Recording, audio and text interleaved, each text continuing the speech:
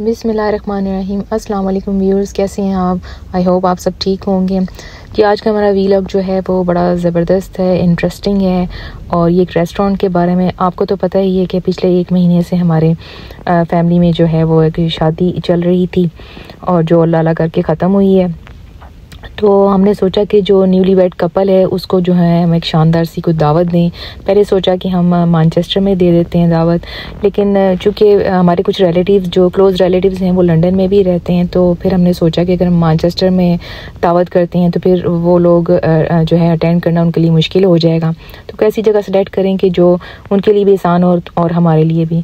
तो फिर हमने सोचा कि हम ना कोई मिडल में कोई एरिया चूज़ कर लेते हैं तो हमने बर्मिंगम जो है, वो उसको सेलेक्ट कर लिया। लिया तो हमने सोचा कि बर्मिंगम में कोई ऐसा रेस्टोरेंट जो है वो सिलेक्ट करें ताकि कि लंदन वाले भी पहुँच जाएँ और हम भी पहुँच जाएँ।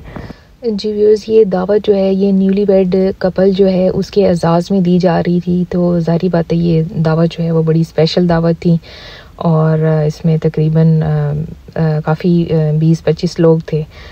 तो उसके लिए मुझे जोड़ा भी स्पेशली चाहिए था तो मैंने फिर ये अपने लिए ये जोड़ा सेलेक्ट किया। ये मेरा सफ़ायर का ये ड्रेस था और ये जो मैं पाकिस्तान गई थी ना तो वहाँ से मैं लेके आई थी। ये कैसे हो सकता है मैं पाकिस्तान जाऊँ तो मैं शॉपिंग ना करूँ? तो मैंने काफ़ी सारी कपड़ों की शॉपिंग की तो जिनमें से ये भी एक जोड़ा था।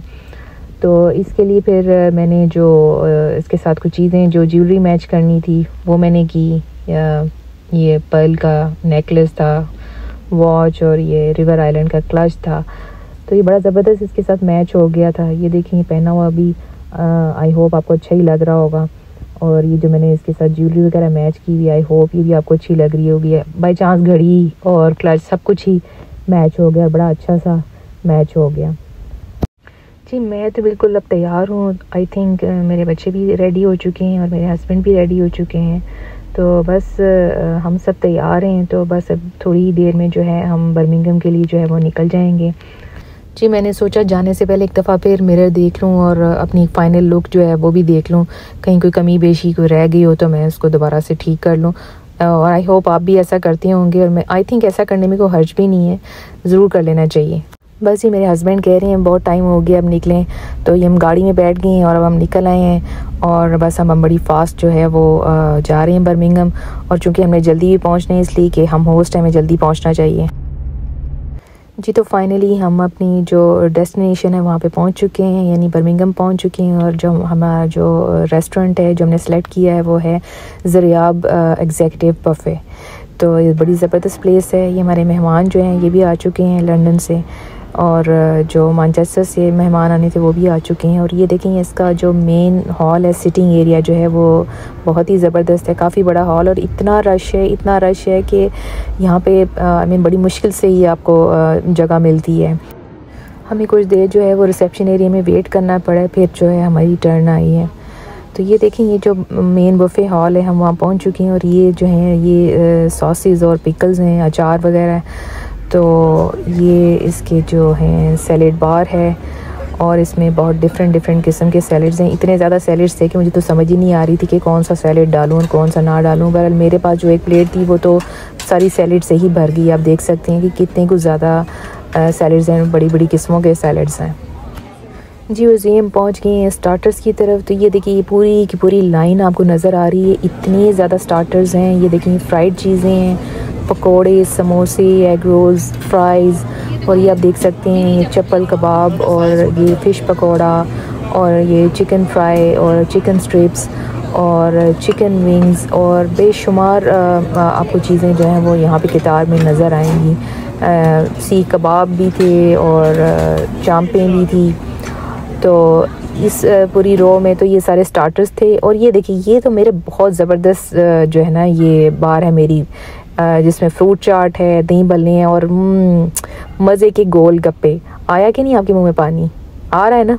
मेरे मुँह में भी इसी तरह पानी आया था। जी बस ये देखें मेरे मियाँ साहब जो है डिफरेंट किस्म की करीज जो हैं वो लेके हैं जिसमें चने तड़का दाल और ये पालक का सालन है और थोड़ी सी कढ़ाई है। और ये देखिए साथ में ये खैर से खा रहे हैं पाए। वैसे तो नहारी भी थी लेकिन नहारी नहीं खाई। ये साथ प्लेट में आपको चांपें और ये चिकन फ्राई भी नज़र आ रहा है। और मुझसे भी नहीं गया मैंने भी एक चीज़ ट्राई की, मेरा दिल नूडल्स पे जा रहा था तो मैंने देसी नूडल्स ट्राई की। देसी नूडल्स बस एवरेज थी, मुझे इतना को ख़ास मज़ा नहीं आया, लेकिन मेरे बेटे ने मुझे बताया कि वहाँ पे एक फ़्रेश जो है ना, वो नूडल्स तैयार हो रही हैं, कोई चाइनीज़ शेफ़ है जो तैयार कर रहा है।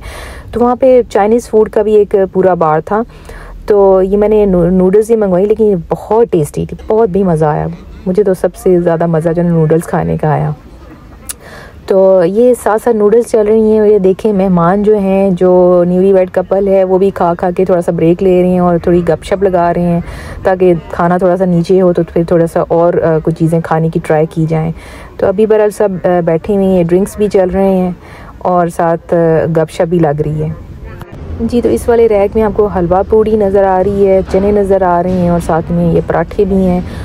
और इससे नेक्स्ट रैक में कुछ थोड़ी इंग्लिश फ़ूड है इटालियन फ़ूड है लाइक लजानिया भी है पिज़्ज़ा भी है और ये हम आ गए जी डिज़र्ट सेक्शन में जिसमें मिठाइयाँ, खीर और आइसक्रीम और डिफरेंट किस्म के डिज़र्ट्स हैं। तो बहरहाल बहुत खा ली है, खा खा के जो ना हाफ़ गई हैं और अब खा के सब जो है ना बस थक के बैठ गए हैं और जो है वो बस अब गपशप कर रहे हैं। तो क्योंकि अब कोई चीज़ रह नहीं की जो हमने ना खाई हो। तो बस अब हमने खा पी लिए है, गपशप भी लगा ली है तो ये अब जो दुल्हन है, ये भी अब उठ के खड़ी होगी क्योंकि अब सबके जाने का टाइम आ गया है। तो बस अब हम सब ये जो रिसेप्शन एरिया है, वहाँ पे आ गए हैं तो बस हम फाइनल सबसे मिलजुल रहे हैं क्योंकि अभी सबने निकलना है, लंदन वालों ने लंदन जाना है और जो मानचेस्टर वाले हैं, उन्होंने मानचेस्टर जाना है। तो बस अब हम बस निकल रहे हैं। तो ये बड़ा ज़बरदस्त जो है वो रेस्टोरेंट था। ये बिल्कुल आलम रॉक रोड, जो है बर्मिंगम की फ़ेमस रोड जहाँ पे बड़ी ज़बरदस्त बुटीक्स हैं। ये वहाँ पे ये रेस्टोरेंट है, बिल्कुल करीबी है और बड़ा, बहुत ही बिज़ी ये रेस्टोरेंट है।